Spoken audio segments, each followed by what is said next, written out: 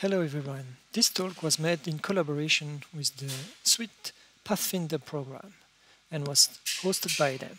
I hope you will enjoy the video.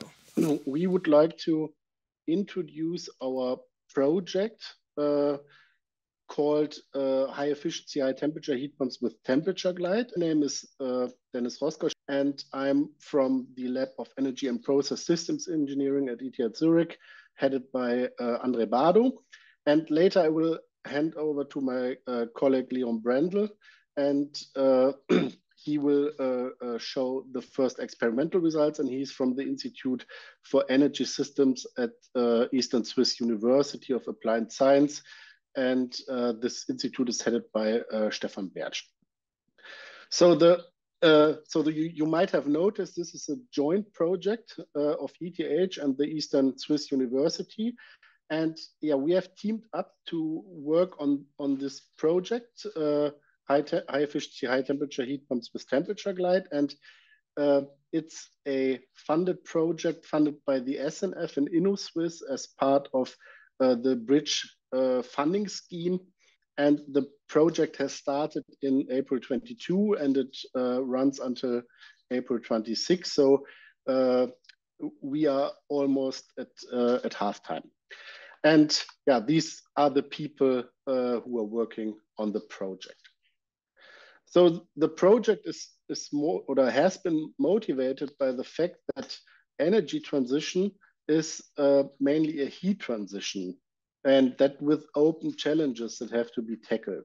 So the majority of uh, final energy uh, used in the domestic and the industrial sectors uh, is dedicated to heat purposes, yeah, from space heating to water heating uh, to process heating. And yeah, we already found an appropriate solution for uh, space and water heating. Heat pumps can and will play uh, the, the major role in decarbonizing these uh, purposes. But what about process heat? The majority of process heat is still produced based on uh, fossil fuels.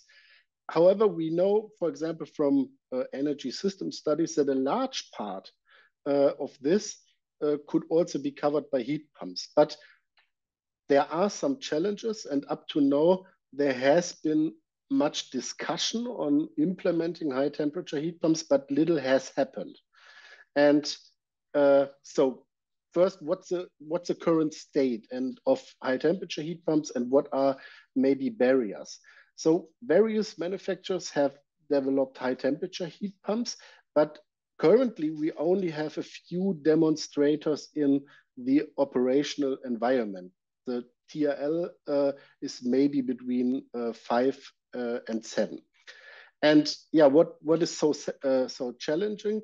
Uh, one of the major problems is that each product is currently tailored to exactly one uh, application. And this requires, this often requires costly plant engineering. And we see uh, when we have a look at the uh, products, the available products, that there's still potential for increasing the efficiency, but also for increasing the maximum temperature. And these points uh, hampers efficient uh, commercialization uh, and, and to discuss the, the special challenges of high temperature heat pumps, I would like to start with, uh, with domestic heat pumps. So a heat pump usually works between a heat source here in blue and a, uh, and a heat sink here in red. And uh, in the domestic uh, uh, heat pump field, sources can be brine or groundwater or air. And the sink usually is our house or our flat. And the conditions of the heat sources and sinks are well defined. We uh, well know the temperature levels and they might vary uh, depending on the or if we have brine or air or whatever, but uh, they are in a very close range.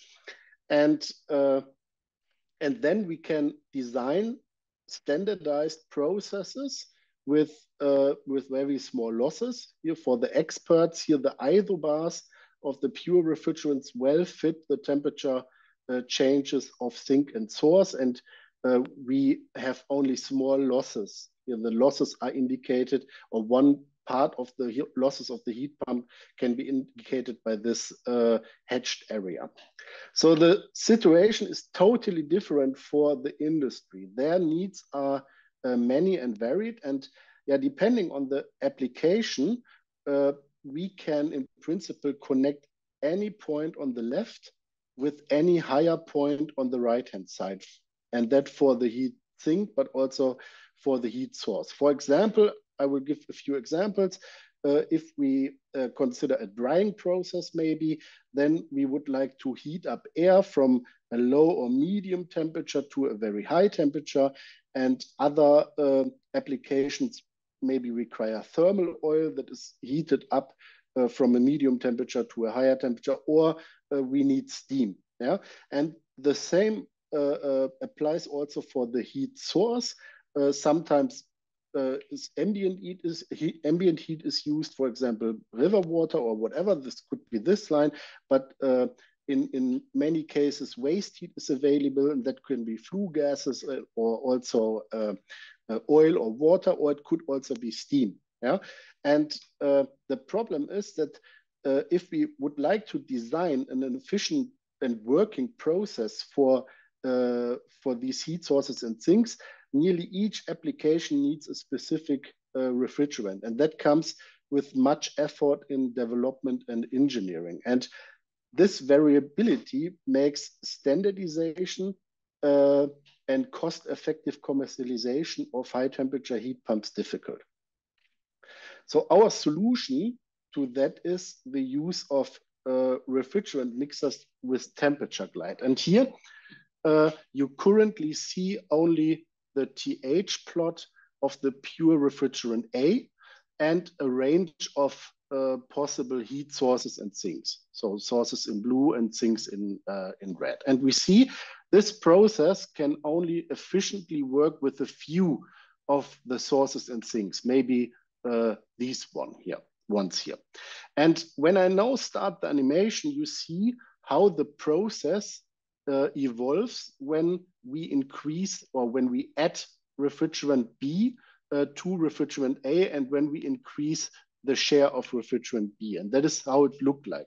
And we see from pure A to pure B, the process goes to higher temperatures. And uh, so we can uh, work with other heat sources and things. And in between the pure refrigerant, uh, in between the pure refrigerants, we have a mixture dependent temperature glide. And that can be seen here uh, by uh, the phase change lines like this. They are no longer uh, isothermal uh, in the mixture, they uh, change their temperature. And this is called the temperature glide, and this can be tailored to uh, the heat sink and source and improve efficiency, in particular when the temperature change of sink and source uh, are large, what is often the case for industrial applications. So if you uh, imagine we put a process like this with the either uh, thermal condensation to this uh, heat source, we would end up with a very large hatched area. But if we take a mixture uh, where this line is not a horizontal line, we can tailor it to this uh, shape here and reduce the area of the hatched line. And so we can increase efficiency. Okay, so that means by using mixtures and by tailoring it, we can increase efficiency, but we can also uh, increase flexibility and standardization. Yeah, because the idea is uh, that one product uh, engineered for one binary mixture can be efficiently used for many applications only by tailoring uh, the mixture composition. So the question now, or, or the challenge is how to find the best molecules and uh, the appropriate uh, process designs. So for example, the uh, CAS registry currently lists about uh, 265 million molecules that might be uh, interesting. And uh, from that results on, through, 350 uh, times 10 with the power to 14 potential binary mixtures.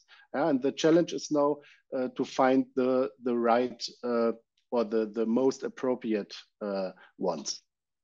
And uh, the best molecules and processes depend on, on several aspects. And uh, yeah, to design these, we have to tackle several challenges. So it's not only the huge amount of possibilities, but it's also the lack of uh, thermophysical properties, in particular for mixtures, and the only little experience on how the components behave when we use mixture. This includes the components like compressors and heat exchangers and the process itself, of course, but also questions of uh, can we find a lubricant uh, that is uh, uh compatible with, uh, with these uh, refrigerant mixtures. And yeah, to tackle this challenge, we have developed an integrated design approach that covers all these aspects. So we design uh, the molecular structure, predict uh, mixture properties, and then design processes and uh, equipment, integrate it, and finally uh, calculate efficiency or uh, economic metrics. And we can go the chain, uh, we can go along the chain from the bottom to the top, but we can also formulate as it as an inverse problem where we really optimize molecules and processes with respect to the objective function. And uh, of course, with respect to uh, thermodynamic and uh, technical constraints. And yeah, in the project, we combine our approach, our uh, molecular design approach with the outstanding expertise of, uh, of uh, Eastern Swiss University in in particular in, in practical aspects of uh, heat pumps and experimental testing. So in the end, we play some kind of, uh, of ping pong in terms of model-based mixture design, then testing, experimental testing, model improvement, again testing, and finally uh, demonstration of feasibility uh, and the benefits. So together we aim bridging the gap between research and industry towards the faster market introduction of high efficiency heat pumps with temperature glide. And this includes experimental demonstration of the benefits and also clustering of most promising applications and providing a guide that really maps suitable mixtures to applications. But we also take care of uh, how can be how can mixtures be handled in practice. Uh, for example, uh, if there's a, uh, a leakage and, and we lose refrigerant, we have to refill, but we have to know uh, which is the current composition inside the uh, inside the heat pump. And these are also aspects we cover with our project. And finally, uh, we uh, established a Swiss Component Center for Industrial Heat Pumps uh, in Buch St. Gallen. Okay, and yeah, to really bridge the gap and get insights on the needs uh, of the industry, we have a prominent industrial advisory board uh, comprising partners along the, uh, the entire value chain from manufacturers over planners to users. Okay, so now I would like to go to the first uh, results from a model study and uh, from a modeling study. And here we, uh, yeah, we considered uh, many refrigerants, uh, various refrigerants and their mixtures for various conditions of heat sources and sinks. And first, I would like to show one example for the heat source uh, uh, coming in at 60 degrees Celsius and outlet temperature uh, 35. And the sink is heated up from 65 to 100. And this is how the COPs of the processes look for the different mixtures as a function of molar fraction. So on the left side, you see maybe uh, the COPs of the pure refrigerant A, on, on the right side uh, of the pure refrigerant B, and in between uh, the COPs of the mixture. And what we see is uh, the mixtures achieve significantly different COPs, but, and that's the uh, first good news, the best COPs larger than 4.1 are only uh, observed uh, or obtained in for mixtures. And if we analyze the shape here over uh, the molar uh, fraction, we see that these, these uh, COP curves have totally different shapes. So there are some examples where, where nothing happened from, or nearly nothing happened from pure A to pure B, or uh, uh, maybe B has a higher COP than A, and uh, the COP just monotonously increases. But we are in particular interested in these kind of shapes here, where we find in the mixture uh, much larger efficiency than uh, the pure fluids have. And there are also some mixtures where we could only uh, use a certain range of molar fraction, for example, uh, because in this area the vapor pressures are too small or whatever. So if we now uh, look how, uh, if we now look at how it, yeah, how mixtures perform over the entire range of, or over a broad range of heat sources and sinks. And here we uh, consider these cases. So the uh, source always comes in with at 60 degrees and the sink uh, uh leaves uh, or is heated up to 100, but these temperatures here change. And uh, you can see this, the heat source on the x-axis and the sink on the y-axis. And the color code here shows uh, the COP of the best, mixture over the COP of the best pure refrigerant. And what we first of all see is mixtures are always uh, beneficial or at least equally efficient. And we see here uh, in this corner a maximum COP increase of 26% at the largest source and sink uh, temperature change because here is uh, the magic of mixtures that we can tailor the glide to uh, the temperature changes. And uh, yeah, this also shows that we can expect higher improvement if uh, the temperature changes of sink and sources are still larger. Okay, but we what we also see is opti optimal mixtures are highly specific to source and sink. So this here, the colors of the dots, each color represent another binary mixture of A and B and C and D and so on, uh, but maybe at variable composition. And uh, that means we need another mixture for this point to, to achieve this COP in, uh, increase uh, compared to this point. And that is not good for handling in practice because uh, no manufacturer would like to, to have 10 or 20 different refrigerants in their portfolio. And that is why we, uh, we were wonder wondering if we can find mixtures that perform well over the uh, entire range uh, of heat sources and sinks only if we change the composition. And here, uh, again, the, the animation, here the power of, uh, of mixtures and the additional degrees of freedom uh, come into the game. this plot here shows uh, one all-rounder mixture uh, that we found, and this is one cyclobutane and cyclopropane. And here we see how much the COP is decreased if we use this mixture compared to the best uh, mixture. And what we see, we only have a small COP decrease over a wide range. Uh, in uh, the average is minus 4.6%. And yeah, we see, but if uh, uh, we have higher COP degrees for higher source and, and sink temperatures, but we could also design or find an all-rounder mixture that uh, works uh, quite good in this area. And yeah, what we now see is that one or two maybe binary mixtures enable uh, high efficient processes for many applications just by tailoring the composition. And this uh, enable, could, can enable standardization uh, and also cost, uh, cost reduction of high temperature heat pumps. And a pure refrigerant cannot offer this because they have less degrees of freedom. And uh, we also identified all-rounder pure refrigerants for the, the uh, entire uh, range here. but this leads to a COP decrease of minus around about 12% in average. Okay, so far I would like to thank you and then uh, I would hand over to my colleague Leon. Dennis talked about uh, the project, project and introduced it in detail and uh, explained the modeling aspects and the theory of it.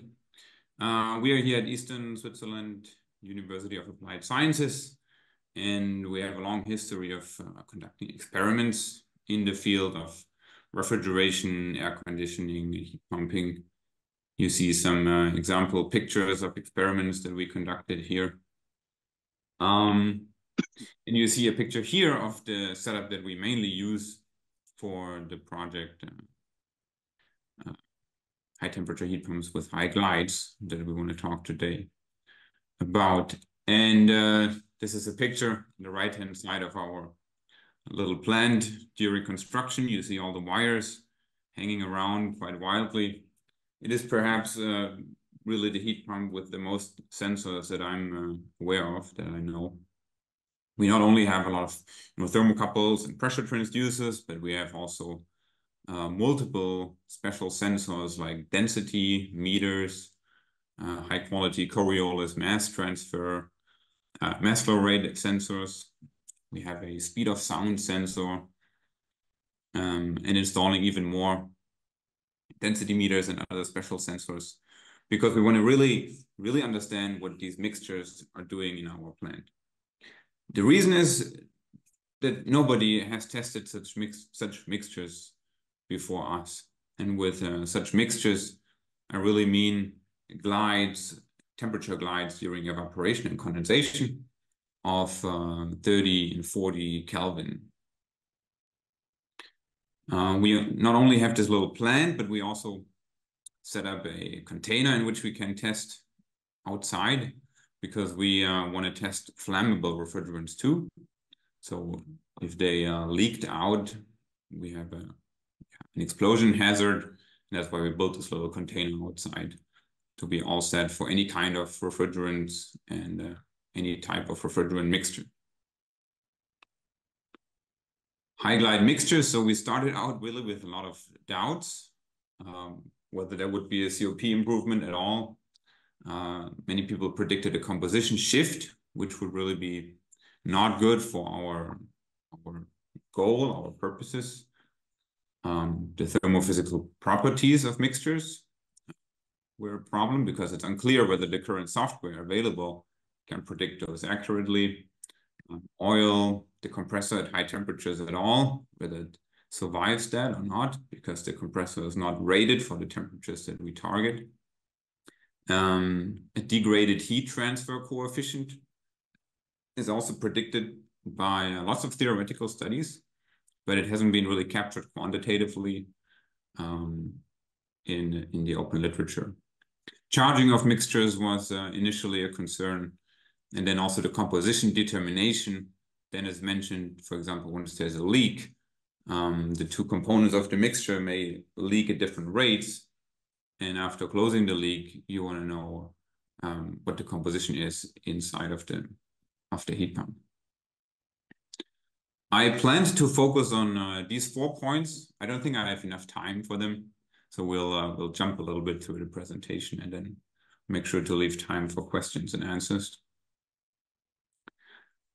Here you see a chart of the COP, which is kind of the core goal, the core goal of our study to prove that mixtures actually can improve the COP. And to understand the chart, um, look at the y-axis, that is the COP, and the x-axis, that is the VHC, um, volumetric heating capacity. Generally, you could say the larger the better, or um, the larger, the smaller of a compressor you need but I just use it here to, to show some data from our mixtures. Now, each uh, line here, for example, the red one, is a binary mixture, and the different points, in this case, stars in the line, are different compositions of that mixture. And you see the mixture in the top, it's R1336 uh, MZZZ mixed with R1234YF. So the very right-hand side point is a pure data, pure uh, refrigerant 1234YF. And on the very left-hand side, you have another pure refrigerant, um, the other component of the mixture. And what you can see very clearly, uh, the highest COPs are achieved for the mixtures. In this case, we have an approximately 16% improvement from the pure refrigerant to the best performing mixture. And 16% is already a lot, especially if you consider that we haven't changed any components of the system. We haven't changed anything that would increase the investment cost of the system, for example. We simply uh, put in a different refrigerant or refrigerant mixture in this case.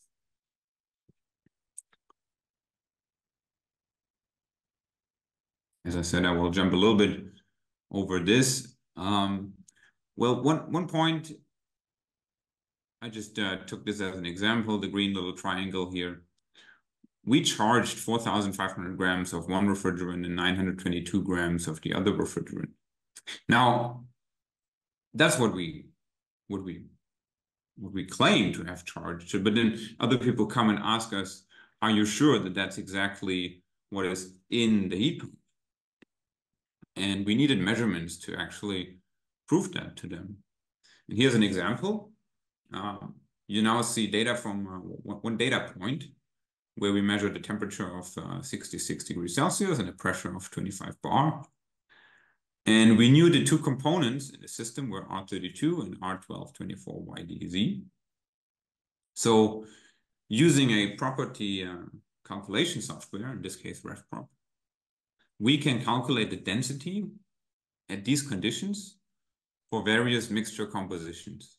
The composition is plotted on the x-axis, density on the y-axis, and um, basically you can see that this uh, pressure temperature combination as the mixture composition changes is um, on the vapor side of the dome, within the dome, or in the subcooled liquid region. Um, up here it is in the subcooled liquid region.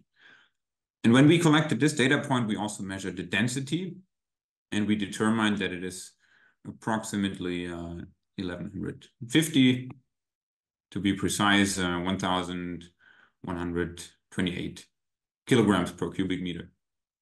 So the intersection with the black line would indicate that we have a 0.845 mass fraction.